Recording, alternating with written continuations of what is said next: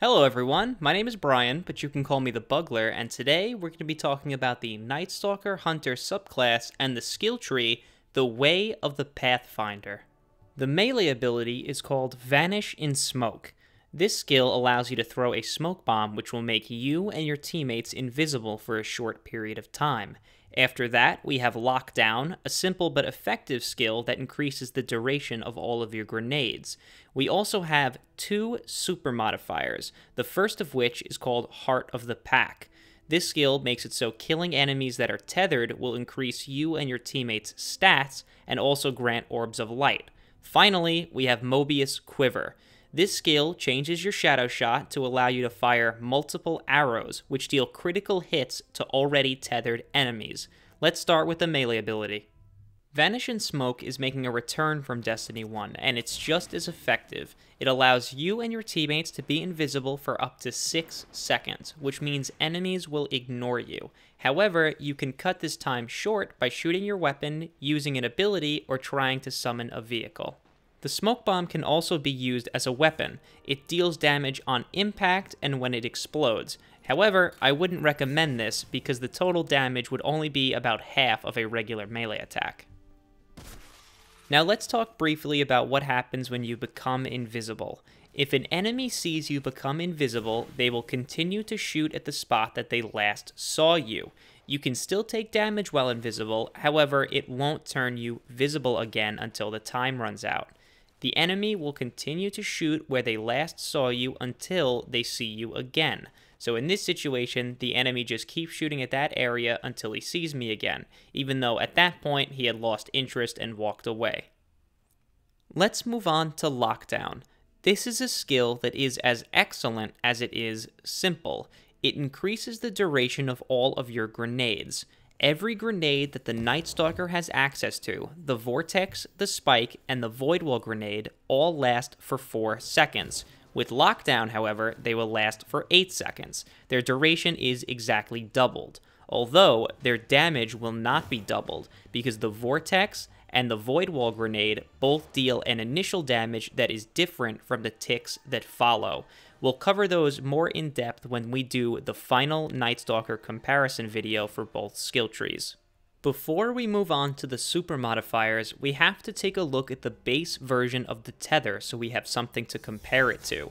The tether will last for 5 seconds. This is the duration in which an enemy can be tethered. However, there are some exceptions. Let me show you. In this example, we're going to take a closer look at some of the more nuanced interactions of the tether. When you first shoot the tether, it will not tether enemies. You can see here that it hits the ground and then explodes a short time after into tethers. At this point, you may also notice that our tether does not stop at 5 seconds. That is because every enemy that enters the tether's range will increase its duration and grant orbs of light. As long as there are enemies around, the tether can stay indefinitely. You may have also noticed, however, that despite our tether lasting for 23 seconds, we only granted 5 orbs of light. This is the same max that I observed when testing the Titan Supers during this public event.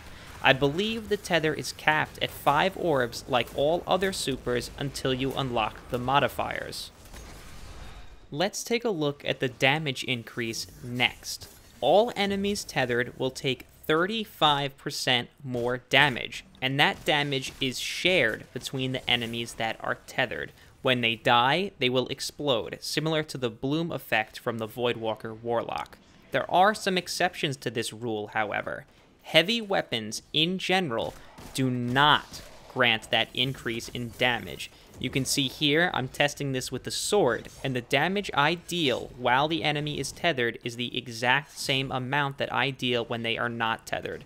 I've tested this with every single heavy weapon and found the same results, as you'll see now.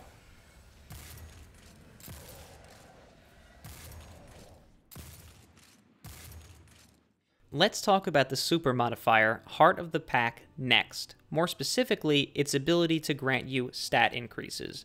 When you kill enemies that are tethered, you gain stacks of Heart of the Pack. This increases up to 3 times and lasts for 30 seconds from when you kill the last enemy. In the split screen here, you see I have 4 mobility on top and 8 on the bottom.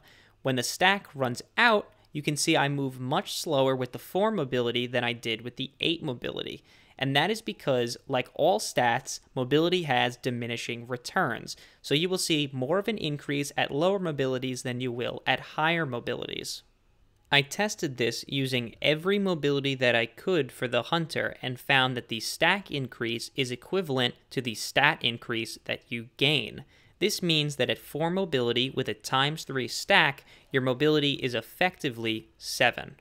I also assume that the other two stats work in the same way, although they are much harder to test, so I cannot confirm this. And here I am again at 8 mobility just to show you how small the difference is between having the stack and not having the stack while walking. Let's take a look at the amount of orbs we can gain by using Heart of the Pack. We gain orbs by killing enemies with Heart of the Pack. In this example, I did not unlock Moebius Quiver yet, just as a baseline for how many orbs we could create this way. And in this example, we have a super that can last for 20 seconds and we generate 10 orbs. That is the most orbs I've been able to gain with any character at all so far. In fact, it's exactly double than what we were able to gain without Heart of the Pack activated. It will be interesting to see if any subclass will be able to dethrone this, although I have a feeling that none of them will. And finally, we have the super modifier Moebius Quiver.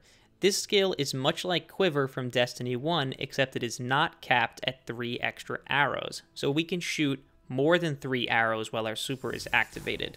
Once you shoot your first arrow, you have 6 seconds to follow up with any additional arrows. These arrows have the same tether duration as the arrows without this skill, so 5 seconds, with some caveats that we'll get to eventually. You're able to fire up to 5 arrows with this skill if you shoot them back to back. Now onto the damage dealing properties. Moebius Quiver allows you to deal additional damage to enemies that are tethered, and this stacks depending on how many tethers are on the enemy, unlike regular damage which does not stack with more tethers. When the enemy is tethered once and you hit them with an additional arrow, they receive 1.7 times the base damage, if they have two tethers on them, they receive 1.7 times the previous amount of damage, or 2.9 times the base damage. This does behave rather strangely though, which I'll show you in the next example. You may have noticed this in my previous example, but you are unable to gain the extra damage from the arrow unless an enemy is actively tethered. That means that because of the brief delay between when an arrow hits and when an enemy is tethered, you may not be able to stack the damage twice. So here, because I fire the shots too quickly and not wait for the tether to activate, I'm unable to stack my damage. Let's move on to the Moebius Quiver's ability to generate orbs, and quite frankly, it's a little disappointing. A hidden effect of unlocking the Moebius Quiver skill is that your tethers will not increase in duration when you tether enemies as much as they did previously. So here, you can see the tether that lasts the longest only lasts for 10 seconds, even though enemies are continuing to run in it. Because of this, I'm only able to generate 7 orbs.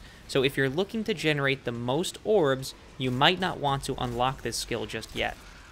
And that's the end of our breakdown. Thanks for watching. If you have any questions about how I conducted the tests or why I might not have included other footage, let me know in the comments. A lot of what I do does not make it into these videos because I want to keep them as concise as possible, so I'd be happy to answer any questions that you have. In our next videos, we're going to be finishing up the Night Stalker Hunter, so that means the other subclass plus the grenade and super comparison. You should expect the first of these videos over the next couple of days. So once again, thanks for watching. I hope I see you next time. And good luck getting through the exclusion zone.